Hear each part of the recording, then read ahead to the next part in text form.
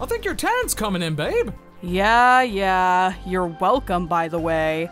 At least my tan lines aren't as bad as yours. You look like you're wearing a t shirt made of skin. You better take a picture, because I'm washing it off later.